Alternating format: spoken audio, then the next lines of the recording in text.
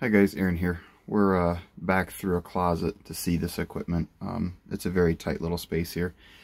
This is a little shorty 40 gallon um, electric water heater.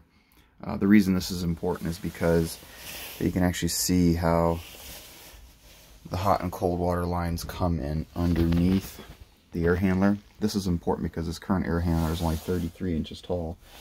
We do have a little bit of metal to work with up above but realistically, what's going to have to happen is um, these pipes, they come through, and we need to bring those more to the front and to the back. So we'll have the plumber come out and move those pipes so that they're more to the front and over and to the back and over so that those pipes are much lower because we'll have to lower down this shelf that this sits on. We'll have to Tapcon a new support across and lower this down so we can fit a 42 inch tall air handler, which is pretty much the shortest air handler that they've got out right now.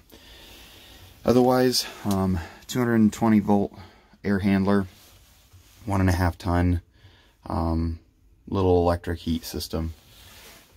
You can see uh, there is no real return. There's just a return opening and then filter right on the bottom. It's Aaron 851.